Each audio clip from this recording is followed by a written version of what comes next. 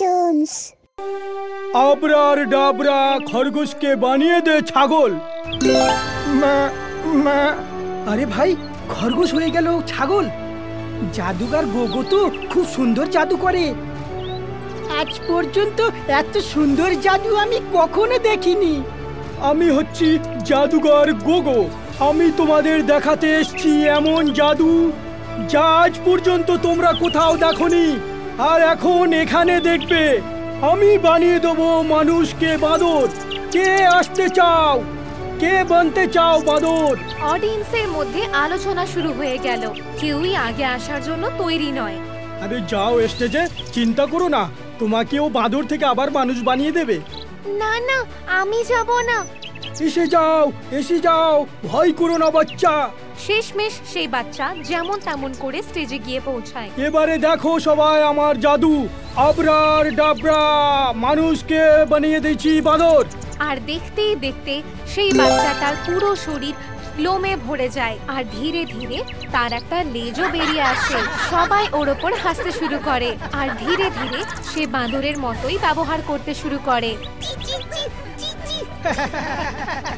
খুব ভালো লাগল। জোরে জোরে হাততালি দিতে থাকে কি সুন্দর বাবা জাদুকর গোগো তুমি খুব ভালো জাদুকর তুমি তো আশ্চর্য জাদুকর জাদুকর গোগো।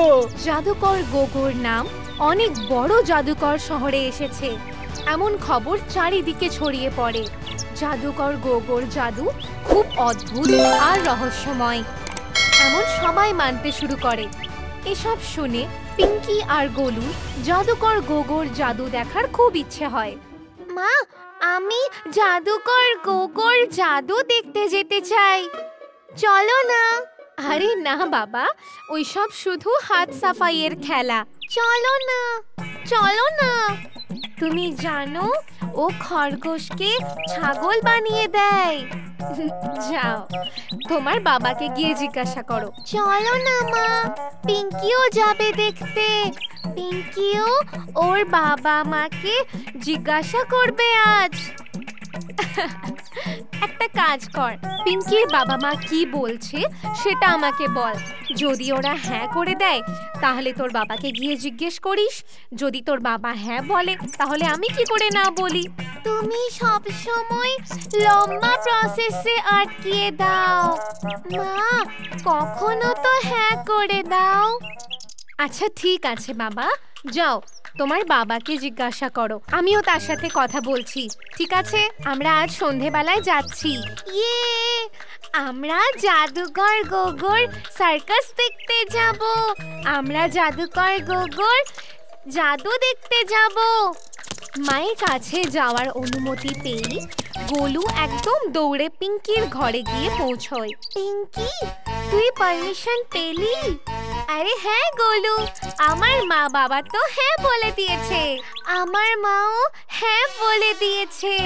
এবার আমরা সবাই মিলে জাদু দেখতে যাব আজ সন্ধেবেলায়। পিঙ্কি আর গোলু নিজের বাবা মায়ের সঙ্গে জাদুগর গোগো শো দেখতে ফ্যান্টাসি হাউসে পৌঁছে যায়। আবরার ডাবরা আবরার ডাবরা, আমি এমন ছড়ি ঘুরাবো, উড়ন্ত টিয়া হয়ে যাবে নেকড়ে। নেকড়েকে সামনে দেখে সব লোকজন ভয় পেয়ে যায়। ফ্যান্টাসি হাউসে সব জায়গায় দৌড়োদৌড়ি পড়ে যায়।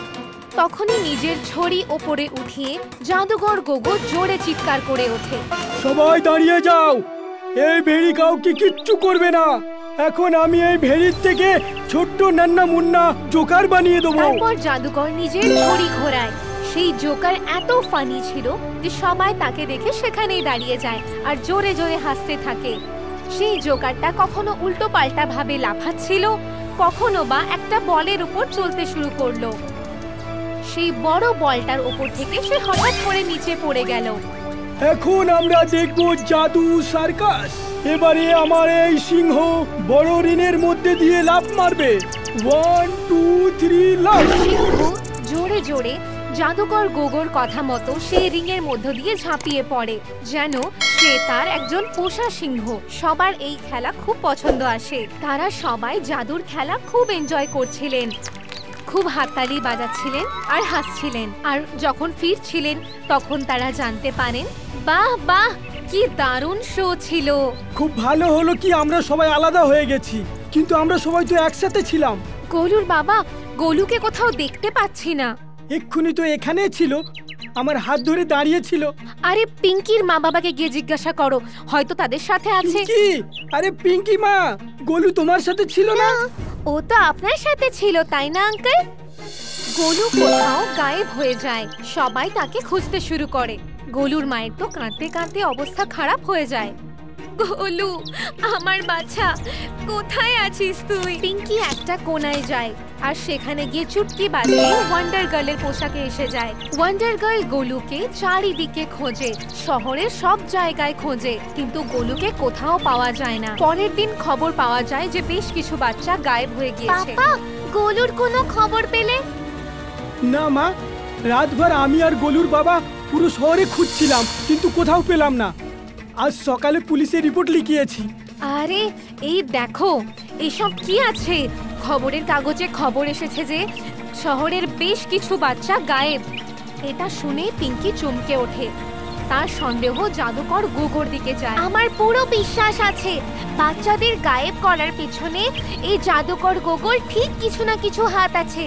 পিঙ্কি লুকিয়ে লুকিয়ে জাদুকর গোগো টেন্টে গিয়ে পৌঁছয় তো সেখানে গিয়ে দেখে জাদুকর গোগো বেশ কয়েকটা বাচ্চাকে দড়ি দিয়ে বেঁধে রেখেছে। আবরা ডাবরা বাচ্চাদের দড়ি আরও টাইট হয়ে যা। এমন বলতেই আশেপাশের বাচ্চাদের দড়িগুলো আরও শক্ত হয়ে যায়। আমাদের এমন ভাবে কেন বেঁধে রেখেছো? মা বাবা কোথায় গেল? আমি ঘর যেতে চাই।